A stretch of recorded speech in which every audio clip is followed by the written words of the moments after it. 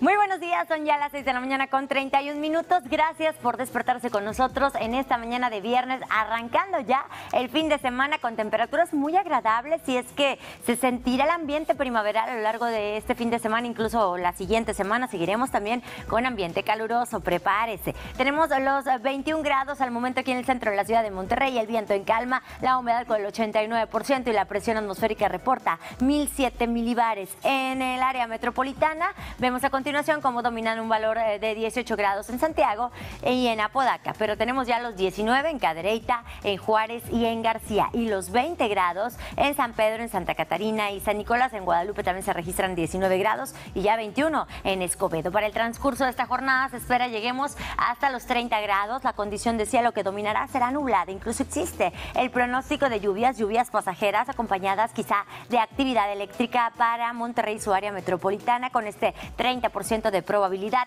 Por la noche desciende el valor a un ambiente todavía cálido con 25 grados. Vemos a continuación en los próximos cuatro días lo que le comentaba hace algunos momentos. Tendremos cielos despejados, ausencia en pronóstico de lluvia y temperaturas sumamente calurosas. Vemos como el sábado llegaremos a 31, domingo con 31, lunes y martes 32 grados, cielos completamente despejados, nulo el pronóstico de lluvia y las temperaturas mínimas irán de 16 hasta alcanzar los 19 grados. Este fin de semana comenzamos ya con el horario de verano. No se le olvide adelantar toda una hora sus relojes la noche del sábado antes de irnos a dormir para comenzar ya el domingo 7 con este nuevo horario. Pero le presento a continuación la imagen de radar, le platico lo que sucede actualmente en la República Mexicana. Tenemos este frente frío, este nuevo frente frío localizado al sur de Texas.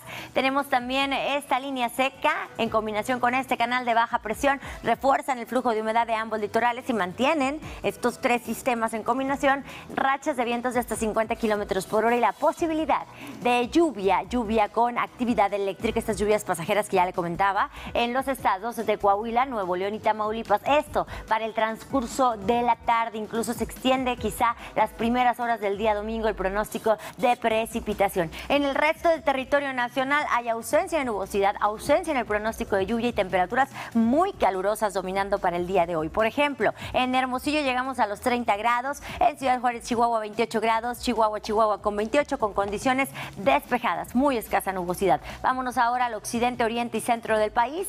En la Ciudad de México, en Guadalajara y en Veracruz, cielos completamente despejados y temperaturas máximas entre 27 y 30 grados. Al sur y sureste, en Acapulco y Oaxaca, máximas de 30 y 31, también con condiciones despejadas y sin posibilidad de lluvia. Seguimos pues, con condiciones despejadas y ausencia del pronóstico de lluvia para la península de Yucatán. Aquí sí sube la temperatura en serio porque llegaremos hasta los 39 grados en la capital de Yucatán. Y también esta temperatura, ya lo sabe usted, se registra a la sombra, la sensación térmica irá por encima, así que prepárense en Mérida con este calor que estará haciendo en el transcurso de esta jornada. Vámonos ahora al noreste del país, temperaturas máximas que oscilarán esta tarde de 27 a 35 grados con condiciones medio nubladas y con este bajo potencial de lluvia que ya le mencionaba, el 30% para el noreste del país, lluvias con actividad lluvias pasajeras, recuérdelo. El día de hoy completaremos un total de luz solar de 12 horas con 31 minutos. Hoy también cambiamos de fase lunar. Esto ocurrió a las 2 de la mañana con 50 minutos a luna nueva.